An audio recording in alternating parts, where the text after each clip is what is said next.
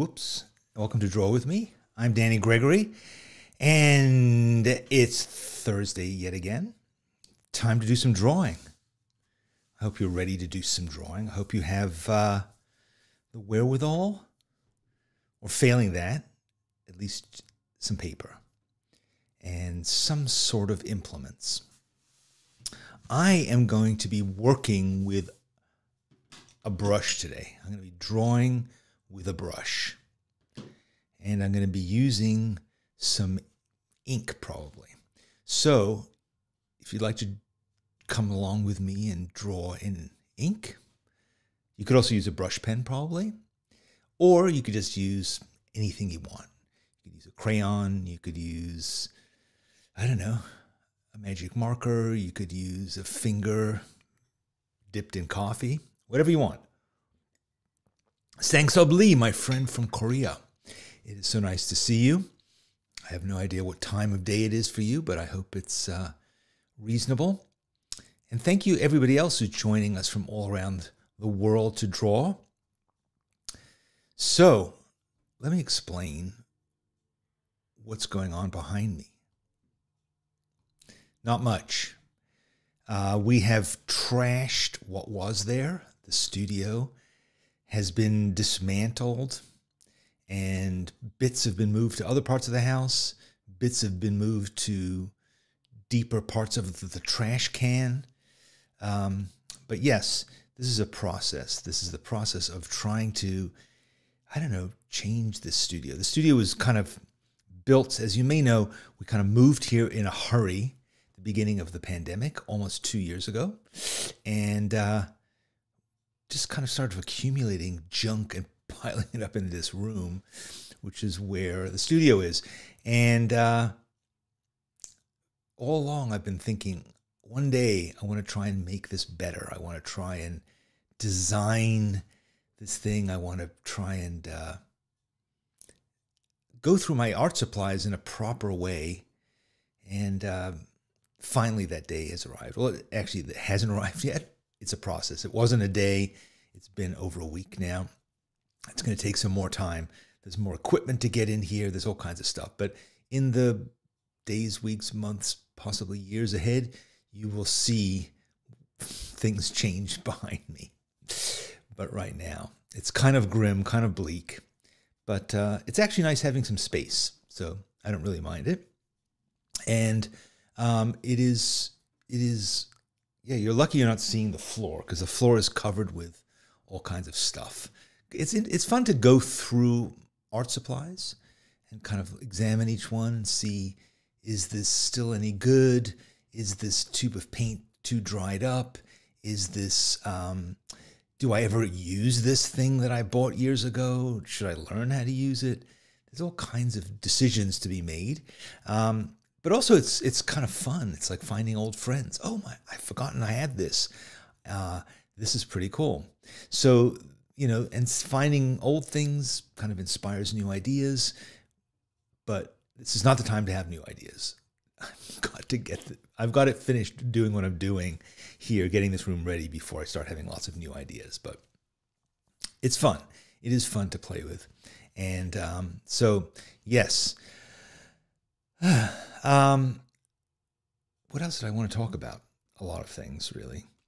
Um, I don't. I okay. I know what I'm going to talk about next. Let's talk about about Hahnemühle. Yeah, because I have some news about Hahnemühle, which is it's their birthday. 438 years old on February 7th. Hahnemühle was founded in 1584. That's quite some time ago. Um, and uh, here's a paper birthday cake, but I didn't have room. For, There's no room for 438 birthday candles on it. So, but happy birthday, Hahnemühle. You know, I like Hahnemühle. I don't really talk about them as a company very much, but you know, we we've been working with them for a number of years now. We first met them around the time when we did SketchCon. You may remember that event in the distant past, but hopefully the not too distant future as well. But um, Hahnemühle, we like Hahnemühle for a number of reasons. One, of course, is that um, their paper is really great. It's it's hand. There's always a handcrafted element in what they do, um, and they they after 438 years they kind of know what they're doing. But I also like another aspect of them, which is their kind of commitment to sustainability, to the environment, to doing things in a way that doesn't damage the environment. You think of paper as being like a pretty benign thing, right? But the fact is, there's all kinds of stuff that happens in the manufacturing process. There's also things that happen in the paper itself. And the paper, you know, is your paper going to last? Is your paper going to, you know, be good for, and healthy for you? Those are all kind of considerations. And Hahnemühle is actually located in a nature reserve, which is kind of bizarre, but but nonetheless uh, an interesting place to have a factory. Uh, and so that so sustainability is obviously important to them, and of course, you know, doing stuff in a smart way in the environment. And I've talked about their agave paper and the bamboo paper. Um, those are kind of new innovations where they're making stuff uh, out of natural fibers that's you know that works better um, and that is better for the environment. This may sound like an ad, but it really isn't. I think knowing your materials is a really important part of developing as an artist. There's all kinds of examples of artists getting, you know, pretty sick from using materials in a way that uh, that affects their health, and you know, of course, we're all concerned about what happens with the environment. So, so these things matter to me. They matter to us at Sketchbook Skool, and we just like the people who we work with. Joe is often often comes to draw with me, and they've been supportive of, of draw with me in Sketchbook Skool since the beginning. So, yeah, happy birthday to them. And um, today I'm going to be using um, a Hahnemühle, not surprising, a Hahnemühle um, watercolor pad. And and what's cool about this, as far as you're concerned, is this is so this is this is like the really great, really good quality um, watercolor paper, nice and heavy, and we are going to be giving some of it away. So if you would like to get one of these pads, we're gonna we have a few to give away. Write to us, info at sketchbookskool.com, and tell us tell us about something like why would you like it? What would you, what would you do with it? Have you ever used it? What do you think is cool about it? Just tell us a little bit of something. But even if you don't, we're going to randomly grab a few names and we're going to send you off some of these pads. So, um, unfortunately, because we're sponsored by Hahnemühle, which is a German company, but we're sponsored by their U.S. company, U.S. division, uh, we can only send you in the U.S. one of these things. But we've been firing them off a lot. It's this this it's the collection. It's water. It's um, cold press. Nice stuff. So um, if you'd like it, let us know. We sent out a bunch of stuff last week that we were doing. Um, I don't know. It just feels like it's nice giving stuff away. I like it. So, all right. So that is the paper story. What are we going to do on this paper today? Well, here's what I've been thinking about. Um, let me lubricate the mechanism first. And today we're going to talk about the year of the tiger. It's the year of the tiger. The Chinese New Year was, well, I think it lasts for a couple weeks, but it was started on Tuesday. And um, I thought that it would be nice to pay tribute to that. Tigers are really interesting animals. Um, you know, that there are there are not very many tigers left in the wild. I think there's something like three or 4,000 of them. That's it. Three or 4,000 of them.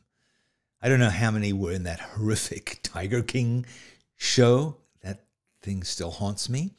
Um, but, you know, there are not that many uh, tigers left.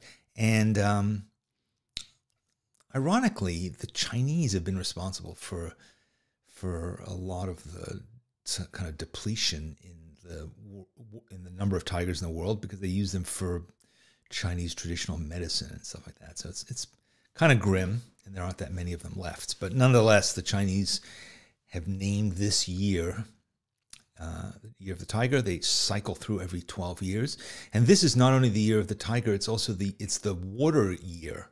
I guess they go in sequences of four. So this is the year of the water tiger. So it seems appropriate. We're going to be painting a tiger, in my case, on watercolor paper. And uh, course, it's also the beginning of the Olympics. Again, the Olympics? Yes, in China. So a lot of things like that going on. So here's some facts about Chinese about the Chinese zodiac that I thought was vaguely interesting. Um, lucky colors: blue, gray, and orange, and unlucky colors: brown. So there you go. Um, brown.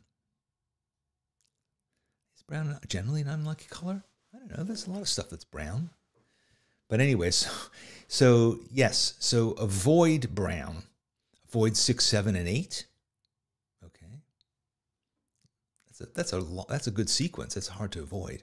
Avoid the southwest. I live in the southwest. And there's a seven in my address, and I live. Uh, okay, but there's also a three and a four and a one, so I'm I'm okay. Um, and uh, yellow lilies and cineraria. I'm not sure what that is exactly, but those are lucky. And uh, east, north, and south are lucky, but wouldn't you know it, the southwest isn't. So. Um, so anyway, so here's what I was thinking. Okay, so I wanted to tell you that I have terrible fear about today. I'm nervous. I'm nervous that what I'm going to try to do is going to be a horrible disaster in terms of my artwork. Occasionally the case. Generally, I try to be optimistic, but let me tell you the story. And, and then I actually, I think I've brought it back. I think I was more nervous. I think I've calmed myself down today. So I don't want you to get nervous. I don't want you to think that we're going to be doing something really hard. Because yes, it's tigers.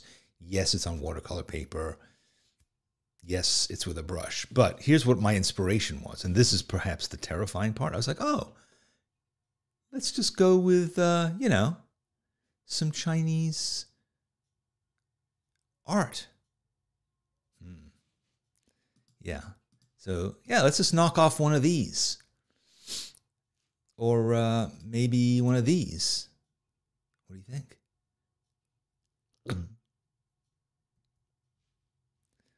About one of these? These, I mean, these Chinese brush paintings are just amazing, I think. I think they're beautiful. But there's also the facility and, and the, the fluidity of the lines and stuff like that that are just so cool, so beautiful.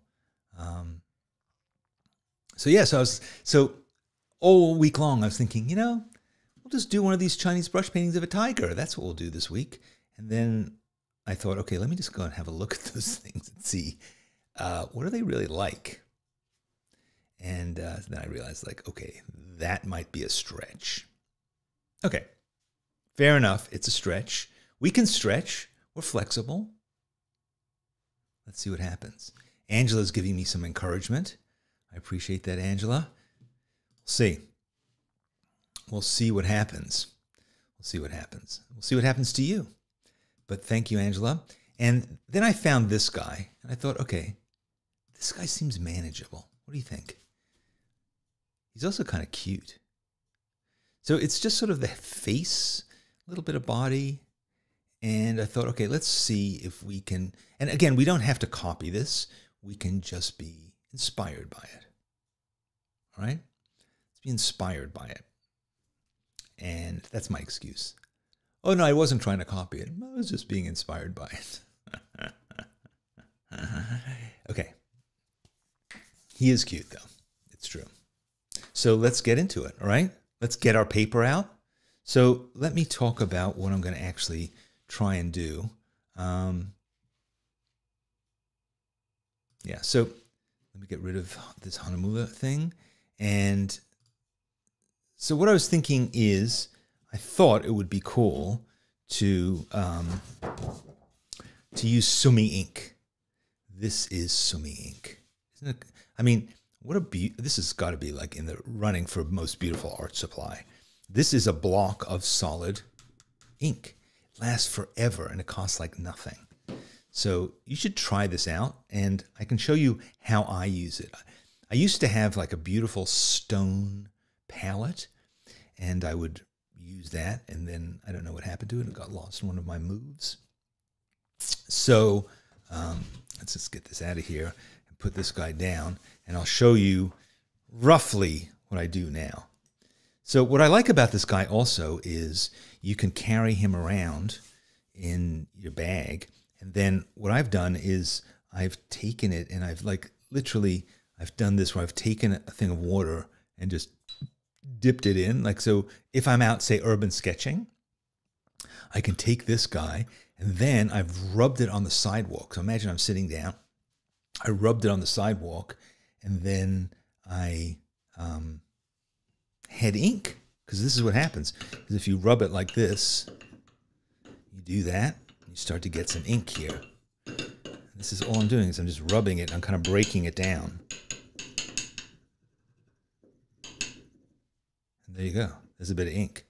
Now this ink is really nice because it is uh, not only has this cool form, but also what I like about it is the ink is kind of warm, and I like it when it's diluted. Um, so, yeah, so that's that. I also have it in a bottle here. This is it's Japanese here, this particular kind.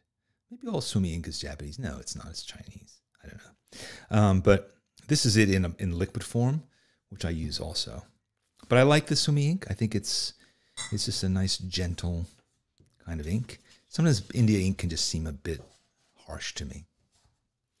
Okay, so let's have a look back at our tiger. And uh, actually, let's look at a different point of view. Let's look at this. Okay. So there you go. All right, Corinne is grabbing her stuff. She's got an ink stick. She's got her stone.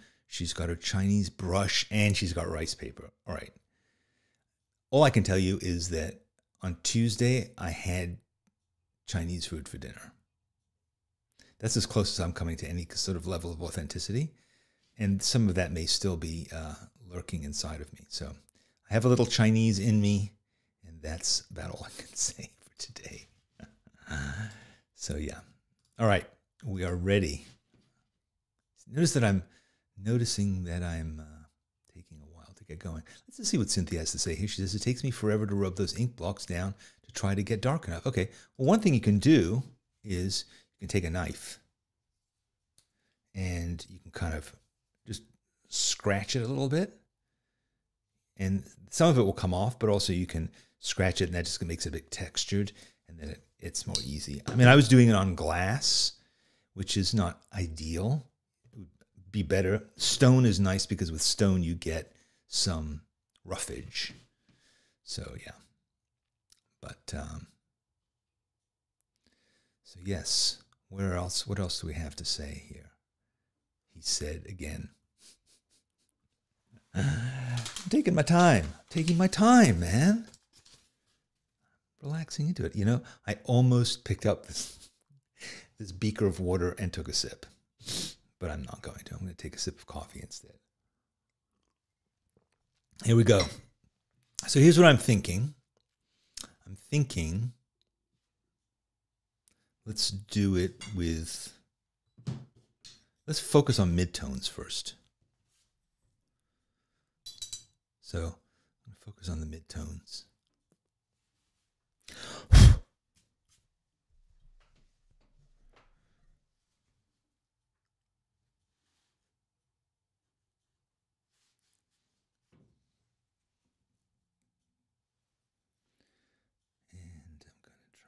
So I'm going to, I'm, this is sort of a combination of drawing and painting, really.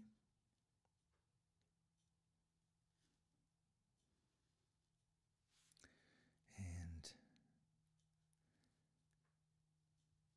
I say that because I'm sort of drawing an, an outline, but I'm going to fill this in in a second.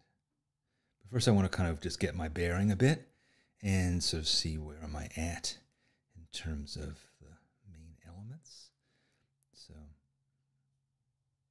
Getting these eyes right is going to be the trick because there's a lot of expression in that. And I want to make sure I don't screw that up at the right at the get go.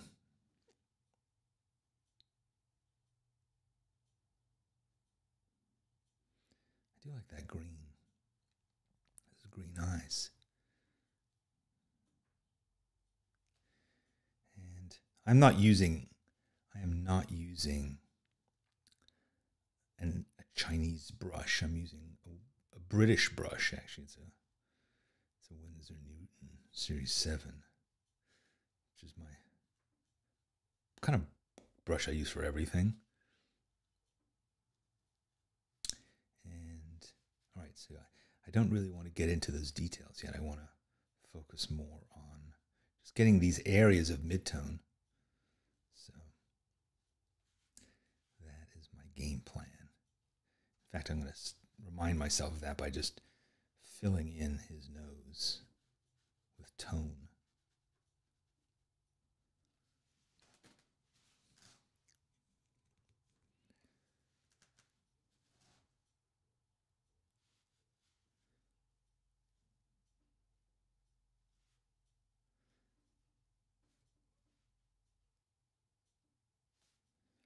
I think once I get these eyes in, I once I get them placed, at least I will, I can be a bit more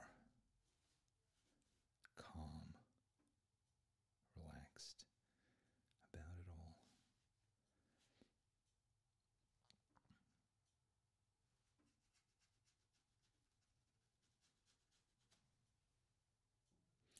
So you notice I, I'm, it's really I'm not using much of this ink. You see, it's just you can see here it doesn't take an awful lot to just load the brush.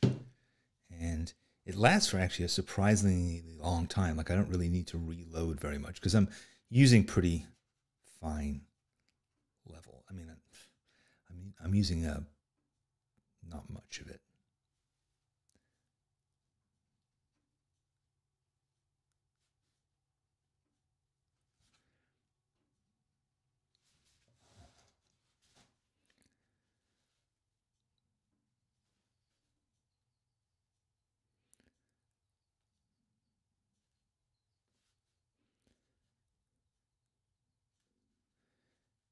Cool adaptation having these stripes.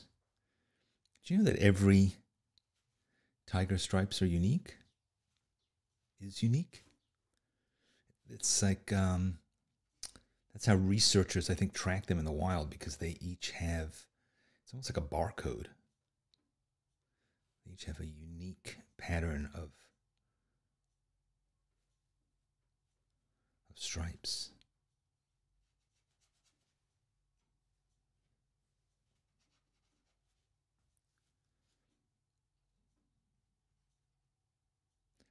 Hey, I forgot to mention, speaking of wild animals, I forgot to mention how cool all those teddies were that you guys did last week. A number of people painted my original teddy, but then there were all kinds of other variations and other kinds of, um, I guess, personal critters that were also there in that uh, little display gallery that we had.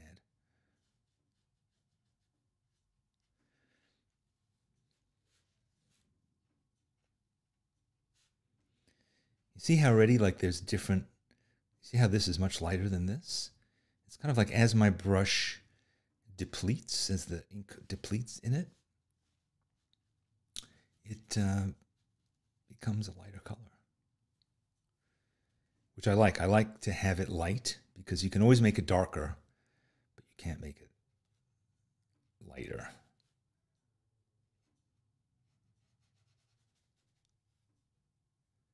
Now, if I was one of those Chinese brush masters, which, just in case you were wondering, I actually am not, um, I would just do like, I would just do like three strokes and like it would start coming to life. But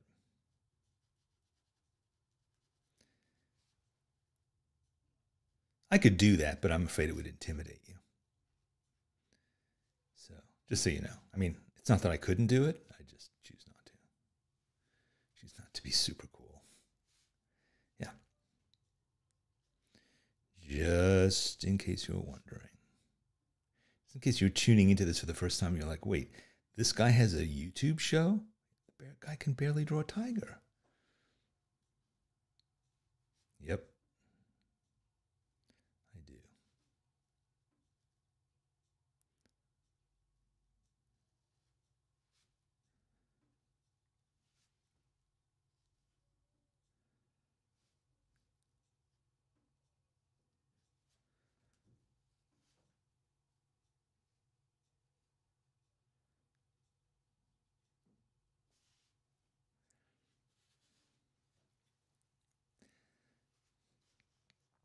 Something about this medium that you know it kind of it's even if it's not terribly well drawn, it does sort of start to look like a Chinese thing.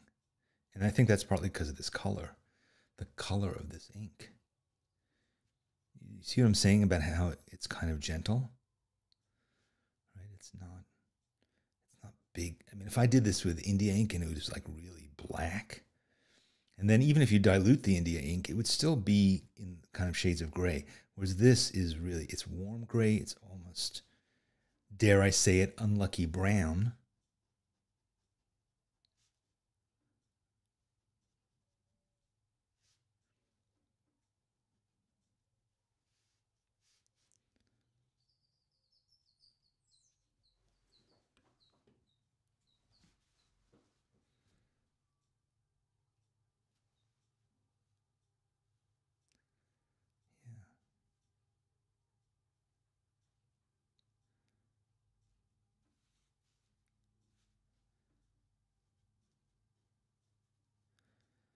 Careful here because that highlight is really important to give him his expression. And there's no way.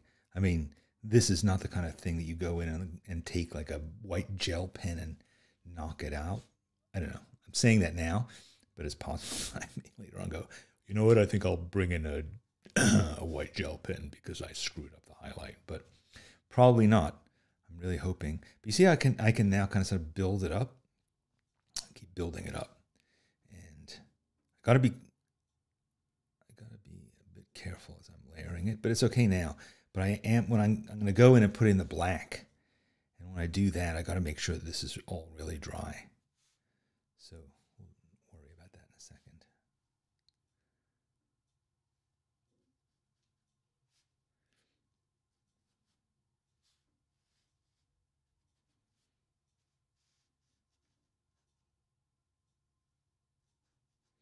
I'm also using, obviously, using this light gray to kind of outline the areas that are white. I'm not really, um, I'm not painting them in, but I'm just, you know, there are edges that are the edges of the areas that are white because obviously I'm, I can not paint the white stuff because that's white.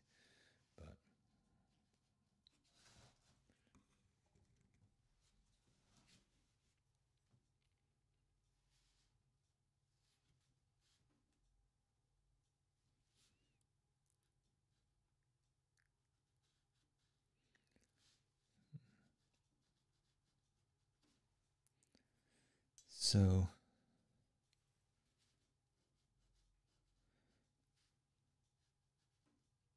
yeah, the, this ink block thing, you should really try it out. It's really, it is really interesting, and it's not, it's not at all expensive. So honestly, I, I don't know how many years I've owned that one block, and you can see I've barely worn it down, and I do use it quite often. I do. I think it's uh, it's really nice, nice quality.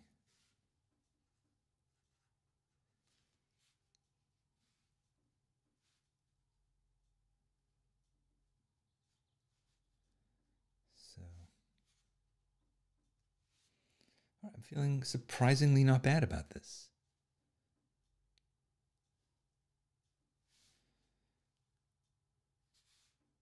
It's all about the eyes. I think so much of this is about the eyes, and right now they don't have they don't have their full power yet because I have to add the darks. But I'm trying to be patient. You know, got to be patient here. So this part I'm just to block in a bit. I'm not to get too detailed about his body.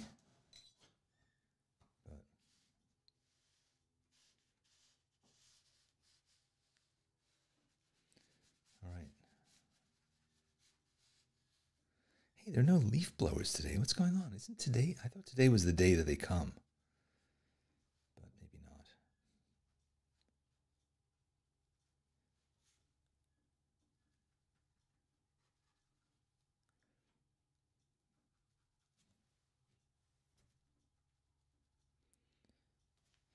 So, so this is, as I said, this is Sumi ink, and there is actually Sumi ink paper. Maybe that's what uh, what Corinne is going to be using. But that, um, and I have some. I have some. And I'm still, and it's, it's a Hahnemühle product actually, but I haven't, I haven't really gotten into it. I thought, you know, today is not the day to try that. I want to, plus I don't have any of it to give away to you the way I do this watercolor paper. And this watercolor paper is just doing just fine. I don't, I don't mind that it's not officially sanctioned paper. When I was in, in Beijing a few years ago, I was doing, I did this, uh, I was invited to come and be a resident, artist in residency at this really amazing school, the International School of Beijing. And um, I went to, they have this thing. What is this market called? I want to say it's called the Mud Market. Yeah, I think it is called the Mud Market because it started as a ceramics market. It's this giant outdoor market that's all art, artists, art supplies. It's unreal. If you ever go to Beijing, check this place out. So it's huge, and they have like an entire kind of street of just brush sellers, just people who sell brushes, all different kinds of brushes. And there is um, these guys with these traditional Jap- uh, Chinese paintings in stacks, five or six feet tall, just sheets of paper stacked up six feet tall, because um, you know, and they're all done in this traditional style. But then there's also all kinds of contemporary artists as well. Hey, I just I didn't mention it to you, but I'm just squirting a bit of this black in here. I could grind this other thing, but I, I think I'm not going to. I'm just going to use the regular black. So hold your ears a second. I'm just, well, I'm going to turn down the volume.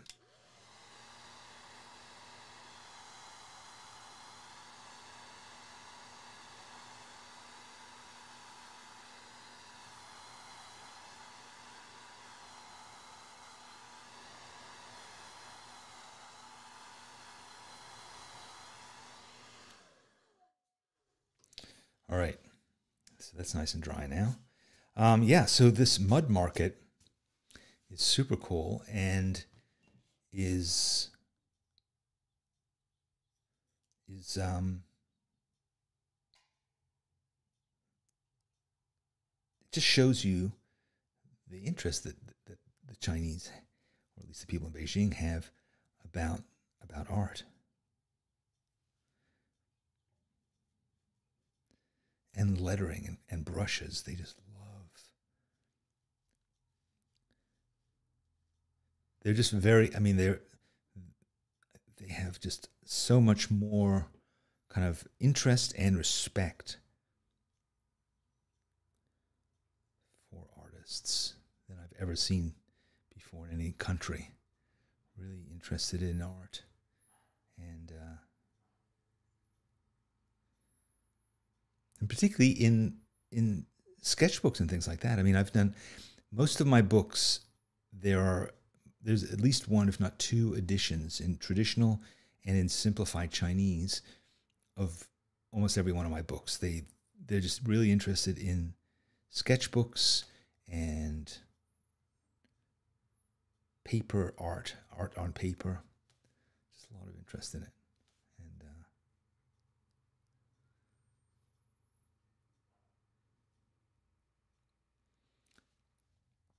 And there's also just it's considered as sort of a, an important kind of thing to be to be good at using a brush. You know obviously they they do a lot of their writing with brushes.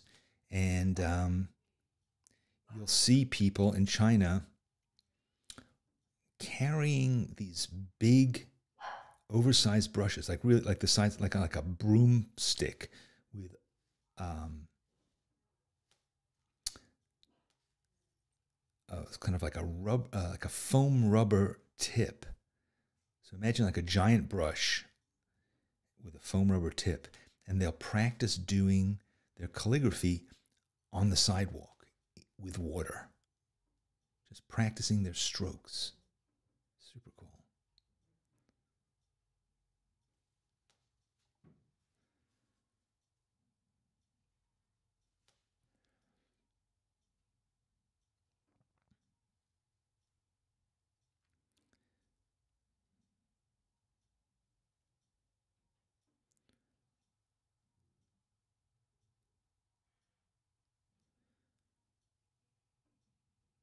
If you ever get a chance to go to China, you really should.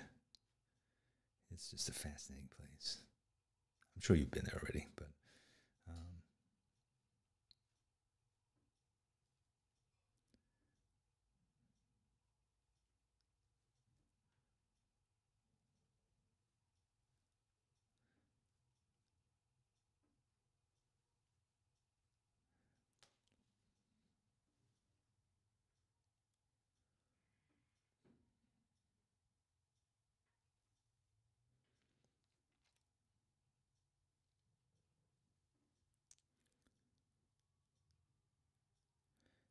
brush comes to a pretty fine point, but I probably would have been smarter to also have a second finer brush handy. And I do. There's like one like a few inches away from me.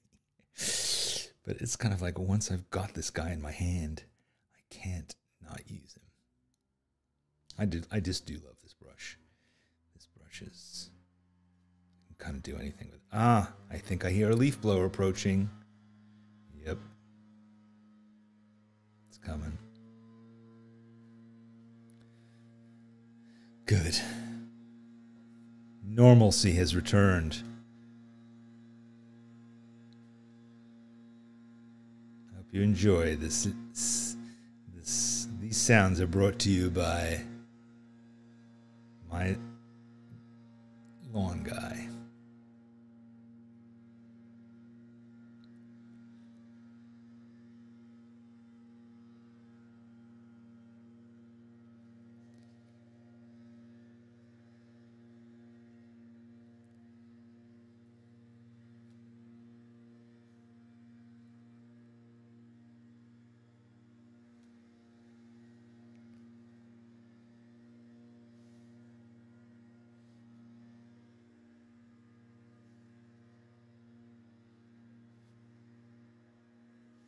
So you can see that that this is obviously much blacker now. Um, and I'm layering it on top of this lighter gray in this case. So, and it's not blacker because it's a different ink. It is slightly different. It's it's a liquid form, but really because I'm keeping it loaded, keeping it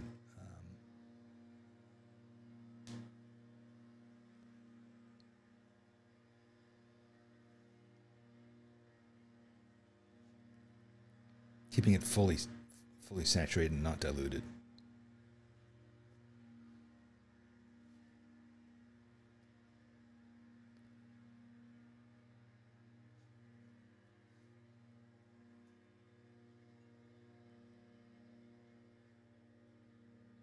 All right.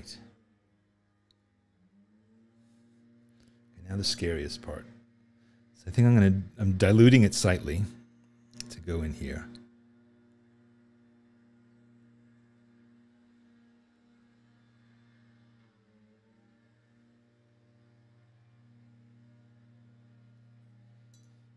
Still nervous.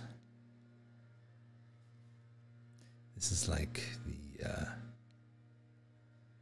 you know, when you're cutting a diamond or something.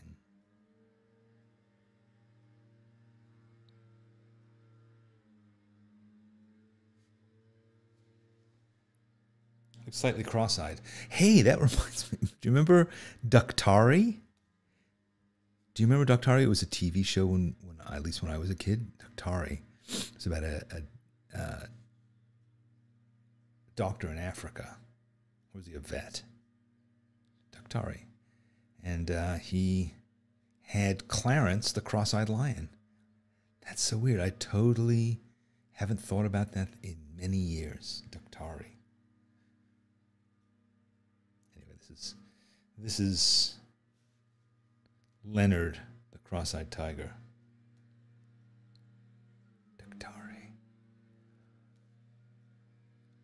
Swahili. There was like a trend for Swahili in the 60s.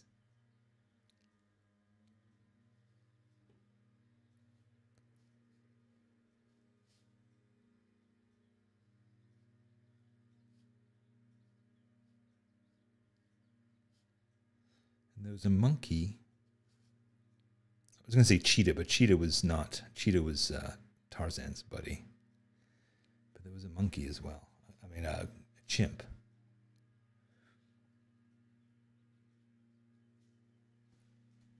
So you see how this is fading more and more? It's fading, it's getting lighter and lighter. I'm not sure if you can exactly tell it on the screen, but this Sumi ink, as it's drying, it's fading, not really fading away, but getting lighter and lighter. And that's one of the things that I love about this stuff is it, it gets lighter. So then you can go back in and you can say, okay, I'm going to just keep layering it and, and giving it more intensity. Even this black, see that black? It's just not that black anymore. It's just kind of gray. Now, what you could do is if you wanted to really get nuts with your blacks, you could go maybe even bring in some India ink. I don't know. But what's nice about this is it does, it is kind of more forgiving because because you're not just putting down the super black ink. You're putting down something that's going to be slightly softer, slightly more forgiving.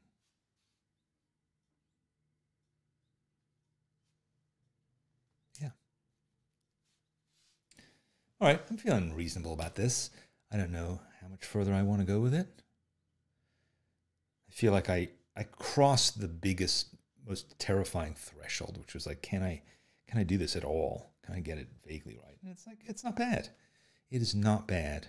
So um, that was fun. I'm kind of done. Don't really want to overwork him. Just leave him be. Yeah. He doesn't have the charm of the original. I don't think. But he's not utterly embarrassing either. And that's the that's the realm in which I live, or in which I aspire to live. Somewhere between the mundane and the acceptable. I'd like to keep my sights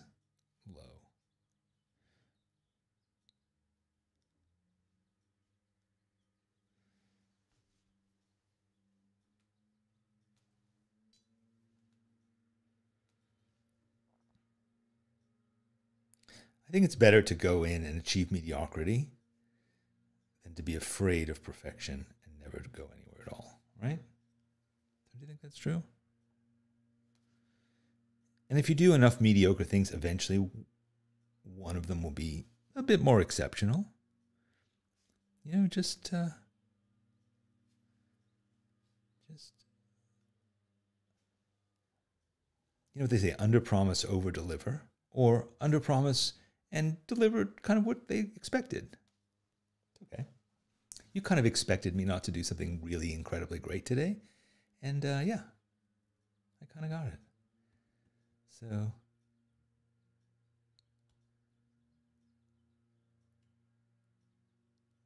Some of you are being are being uh, generous and saying that you prefer the eyes of the origin of of mine. That's nice. Okay.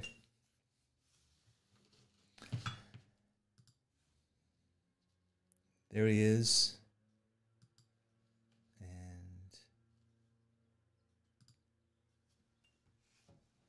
it's okay.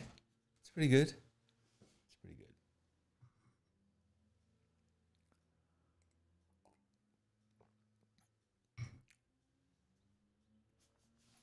We'll see. We'll see how yours turns out. I hope that uh, you had a chance to do it. I, I, see that some of you are saying that you are quite happy with yours. Um, quite happy with yours.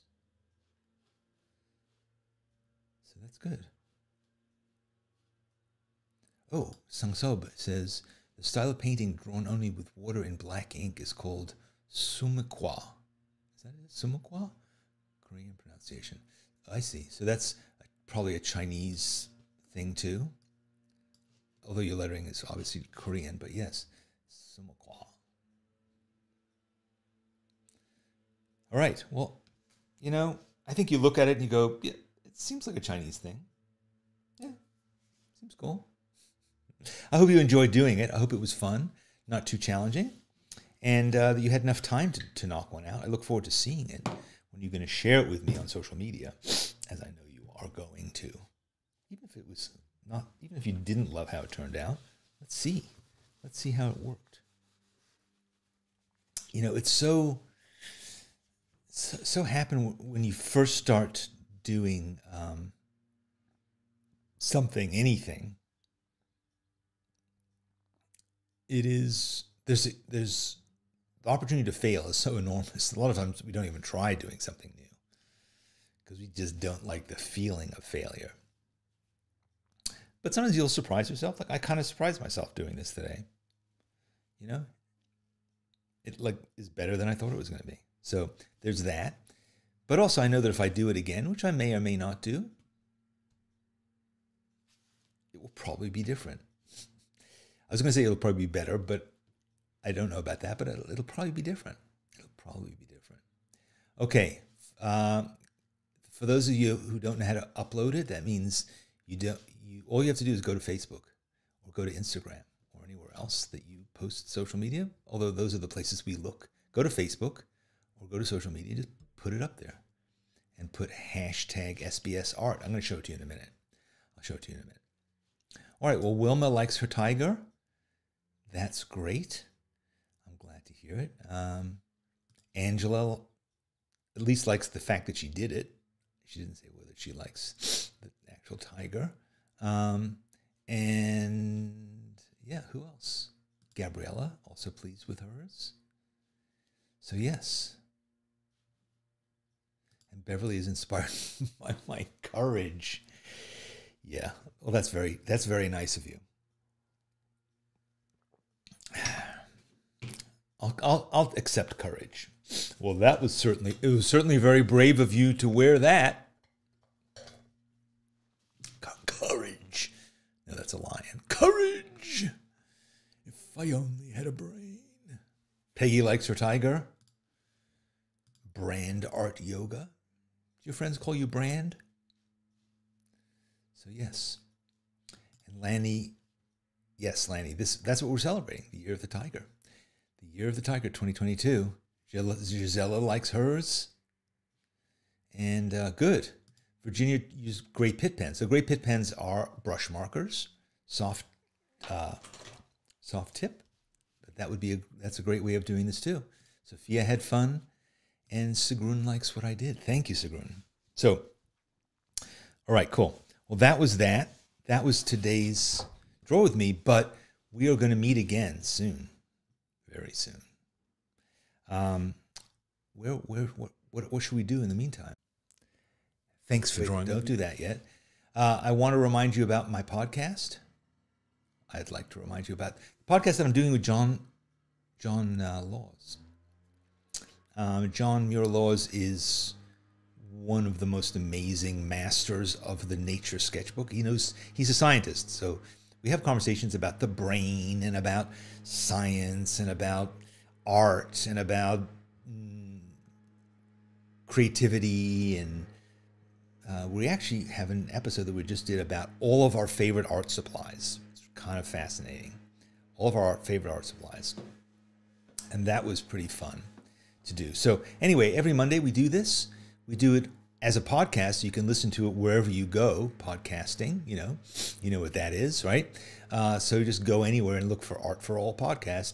Ding, it will pop up. But also we do it here on YouTube. You might be on Facebook watching this, but if you do it on YouTube, we post the video of us talking.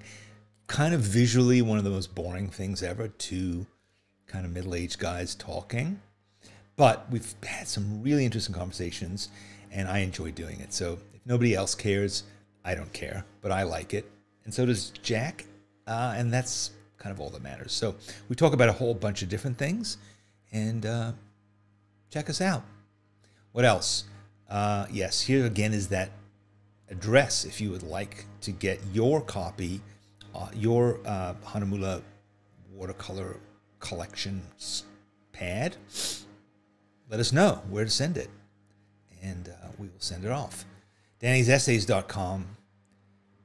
Every week, now twice a week, I write an essay.